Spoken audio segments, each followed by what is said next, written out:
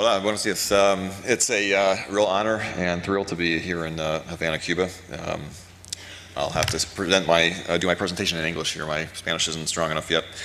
Um, so for, uh, um, this is a talk about BGP uh, security, including some BGP hijacks and manipulations. Uh, but before I get into that, um, in the United States, I'm often associated with the, oops, we got a, perfect timing. All right, well, I'll talk while this is going. Um, uh, I get associated with the internet in Cuba.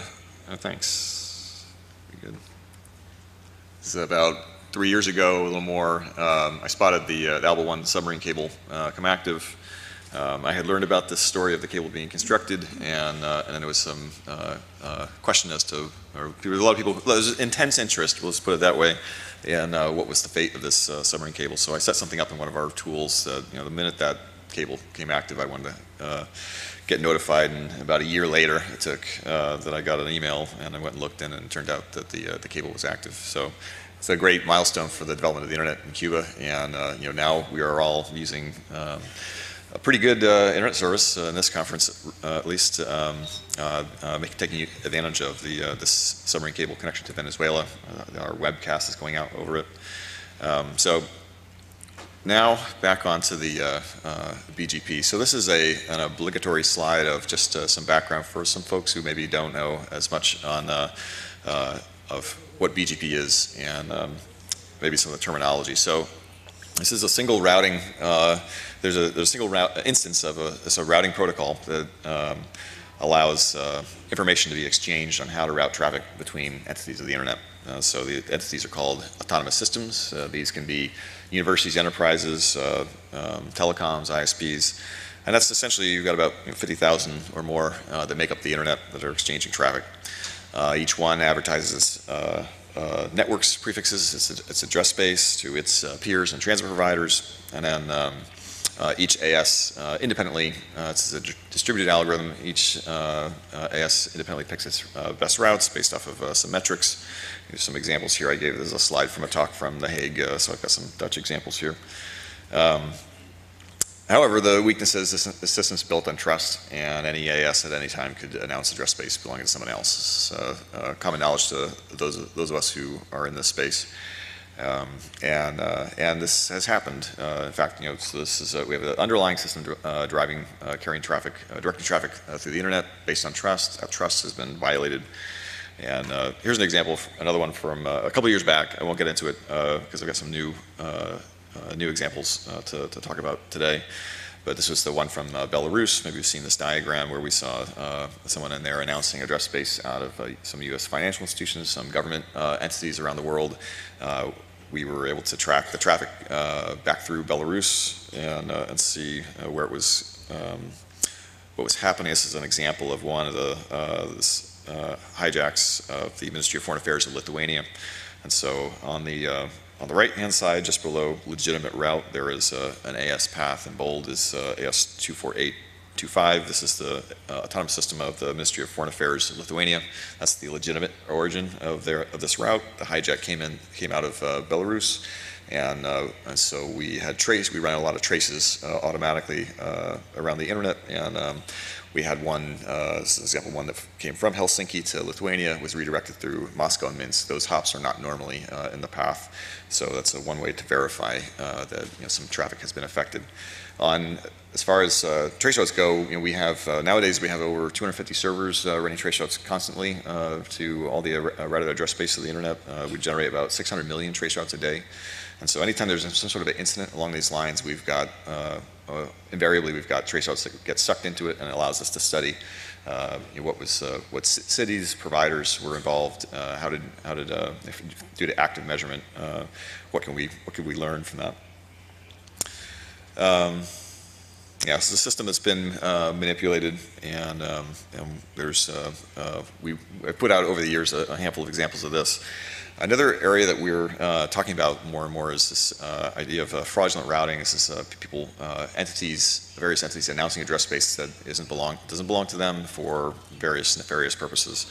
And so uh, this has long been a, a, a, technique associated with spam generation, but it's also uh, been linked to things like malware and uh, botnet CNCs. Uh, the objective here of the perpetrator is to hide their presence. So this is the equivalent of a throwaway mobile phone for a, a criminal, and um, uh, they can try to be untraceable, or at least it's difficult to trace uh, where you know, what um, what somebody's doing when they're doing this.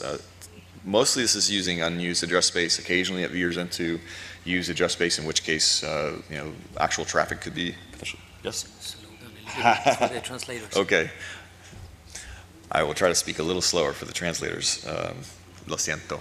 Um, uh, yeah, so occasionally this veers into uh, used address space, in which case there are app, uh, implications for um, uh, actual uh, traffic being uh, misdirected, but often this is just used to uh, hide the presence of um, uh, perpetrator of some sort. So there's been a, a, handful of news items that have come out in the last year as this issue maybe uh, rises in profile. Um, last summer there was a story in the uh, um, uh, Dutch press uh, where uh, someone had spotted a, spamming operation hijacking address space belonging to the Dutch Ministry of, Affair, Dutch Ministry of Foreign Affairs. Um, it had gotten uh, so much news coverage that the uh, the Minister of Foreign Affairs was called to Parliament and had to answer questions about this. And his questions were along the lines of, "How could you let this happen?" Uh, kind of thing. And you know, in his defense, uh, there's really not much he could do to prevent it. Uh, the same is true for everybody. Um, and the uh, um, uh, also, you know, probably on his uh, uh top priority uh, issues, uh, the hijacking of his unused address space probably isn't uh, one of the very top priorities of the Dutch Ministry of Foreign Affairs. Nonetheless, this is kind of what what it looked like. So this was came from an organization out of um, Bulgaria called Decision Marketing. this is a little screenshot from their website that says, you know, we are email marketing company, and um, which sounds like broken English to us. That's a joke that probably will definitely not translate. Uh, it's not that funny in English either. But uh, uh, anyway, this is the this is the profile, propagation profile of the route. Uh, it was um, for about two weeks. We saw about 40% of our uh, uh, peers carrying this route. we have a, about 400 different um, full table BGP peers that we draw, use to draw BGP data from. And there was about 45 routes involved in this, and um, this one was you know, clearly a, a spamming uh, operation. Another one that occurred right on the heels of the, of the Dutch thing was uh, uh, cantonal IP space. This is a IP space belonging to one of the state or provinces of uh, uh, in Switzerland. Uh, was also hijacked.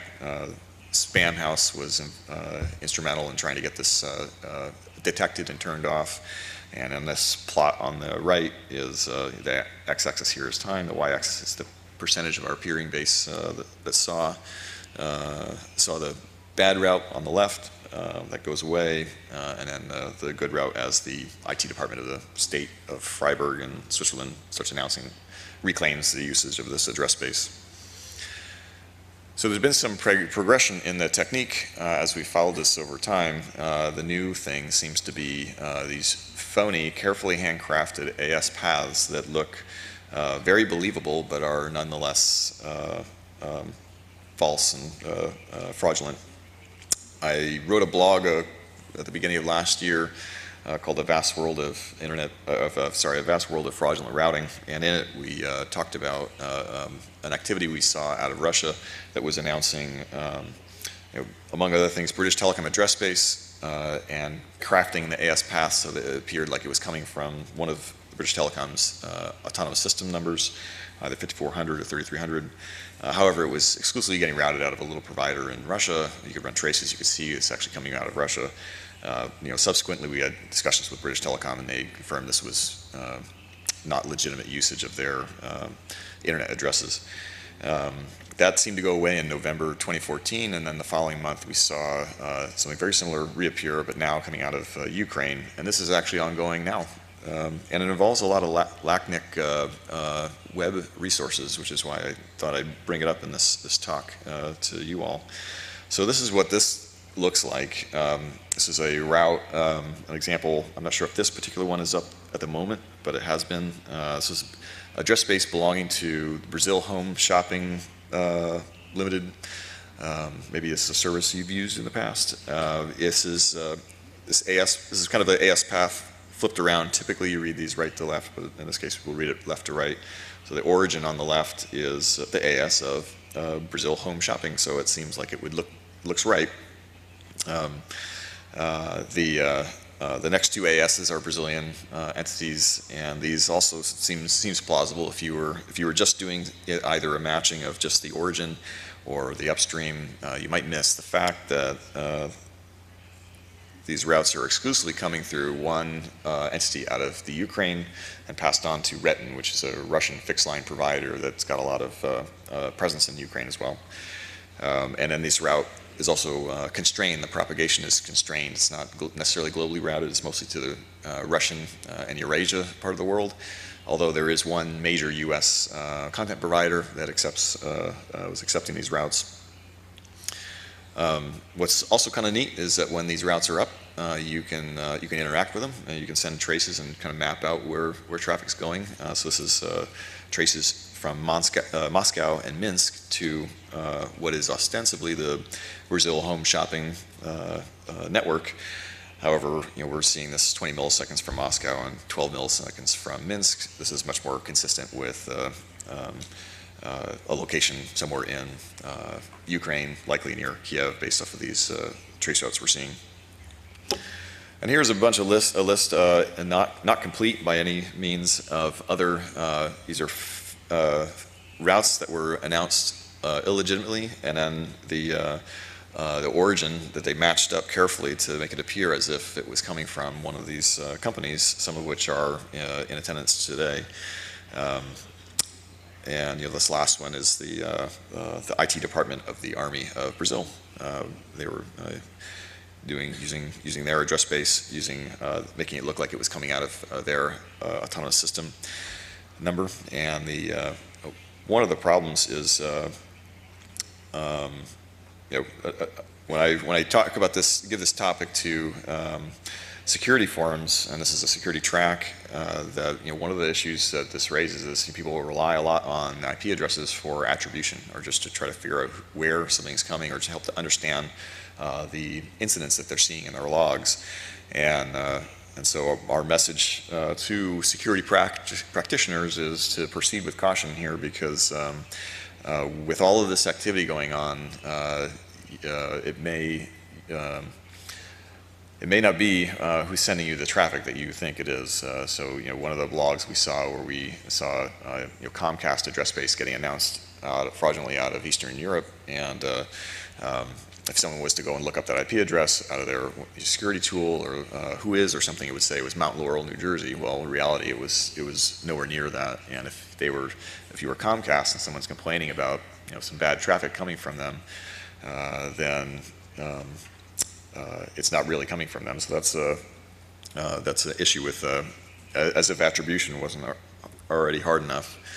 So these are these are now some uh, examples of uh, traffic misdirection. Um, it's always hard to be absolutely con- uh, conclusive. We don't necessarily get cooperation with, from the parties involved to tell us, uh, you know, exactly uh, what was uh, what was intended here. Nonetheless, they're uh, uh, certainly suspicious. But uh, you know, one of the retorts that we get from people uh, is uh, when we bring up this issue is they'll say, "Listen, all my traffic's encrypted, so I'm I'm good to go, and I don't care if uh, the traffic's misdirected."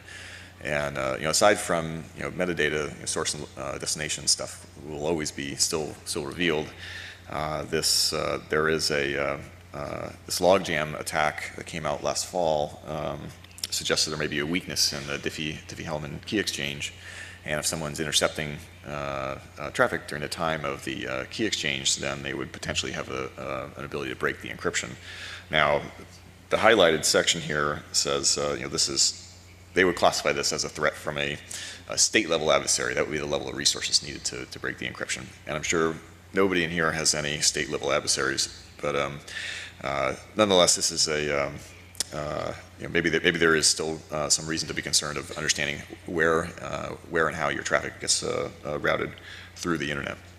So here's a, an example of, of, uh, that we gave last year of, um, it was a provider in Ukraine was announcing a bunch of routes from British Telecom. Um, for some reason in this talk, I'm kind of picking on Ukraine and I'm picking on British Telecom. But the, uh, we were able to measure traffic getting uh, misdirected into uh, Ukraine uh, and kind of doing a, you know, what would be a man in the middle. Um, I'm not sure uh, necessarily the purpose of this. At the, at the end of the week of a, bu- a bunch of routes that were announced in this way, we saw a big, uh, a bunch of, uh, a bunch of newer routes uh, announced. Uh, one of those was that caught my eye was the Atomic Weapons Establishment of the UK. And if you're not familiar, this is the organization that actually builds nuclear warheads for the, um, the British military. And so we wrote that blog that got people's attention. Um, I don't know that any sensitive data was sent. Uh, like I, I only know, you know, uh, where the pipes are and where, uh, where they where they uh, where they're going at the time. Um, but um, some journalists kind of extrapolated from there. But maybe I'll take a couple of examples from uh, uh, from this area. So. As you may know, uh, the, uh, in the Caribbean, uh, online gambling is a, uh, is big business. This is uh, you know, billions of dollars. Uh, there's a lot of um, different companies that provide service in this area. One of those is e-commerce park. This is a, a hosting operation out of Curacao.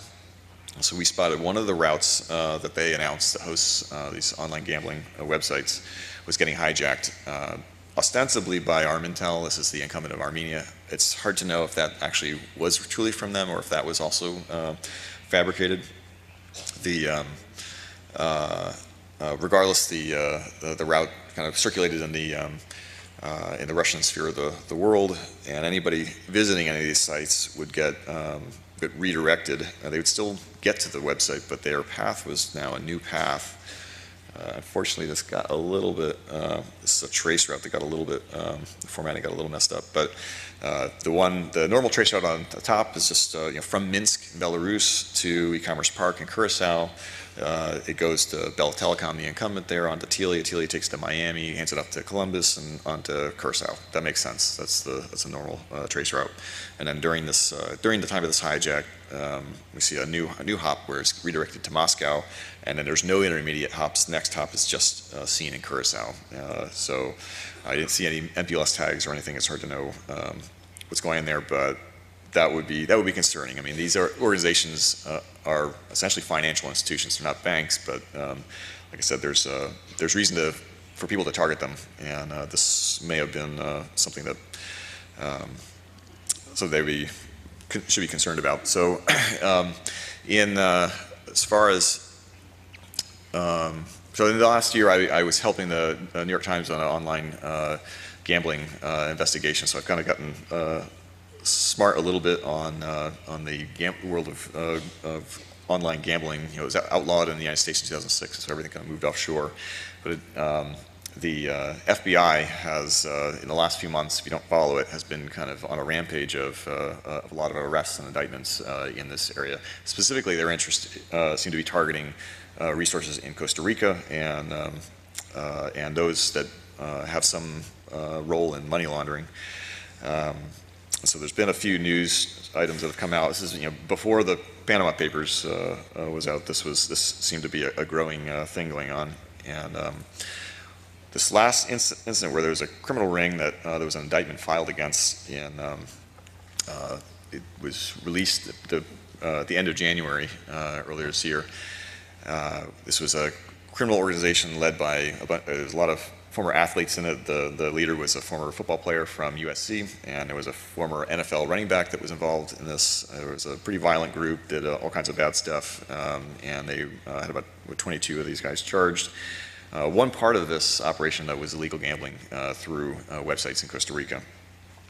In fact, if you go back to the, uh, the, the actual indictment filed on January 12th, um, that talks about you know all activity leading up to and including January 12th. Um, that is kind of interesting because uh, on on January 12th we saw AT&T um, accidentally hijack uh, BetCris. If you're not familiar with BetCris, this is kind of the, the granddaddy of uh, online gambling, gambling operations in uh, uh, Costa Rica. And um, this occurred uh, hours before the uh, indictment was filed. Um, You know, I think we let these guys know. I don't know uh, if we'll ever hear any confirmation on this. Maybe it was just a mistake. Uh, We can see from our data that traffic was redirected to AT&T's resources in Europe. Um, And, uh, you know, we checked a few things to see if, uh, you know, innocent mistakes happen every day. Uh, Maybe that's what this is. The, uh, I looked at the, the various AT&T ASs, the 2000 series that they use for, over, typically they use it for enterprise clients overseas.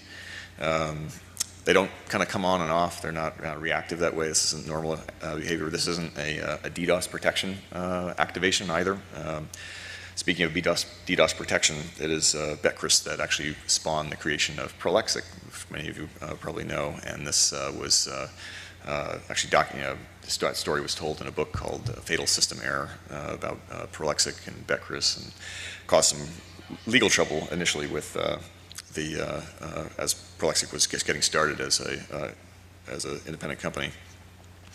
So I've talked about a number of concerns uh, that uh, either the fraudulent, uh, fraudulent routing, traffic misdirection, and to be very honest, there is not any sil- silver bullet here. Um, There's you know, limited adoption of RPKI, the crypto- cryptographic solution for origin validation that would be helpful. Uh, There is also some pushback on that effort uh, as far as people not being comfortable with an outside entity being, having the ability to uh, um, uh, negate or, uh, um, you know, reject a- a announcements from a, from an AS. And um, we support this effort by the Internet Society of uh, MANRS, the mutually agreed norms from uh, routing security, which is essentially a collection of best practices for routing.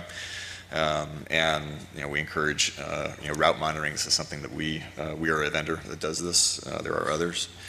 Um, So just to wrap it up, you know, we have a global system uh, that's, uh, that's directs traffic around the world. This is how we, um,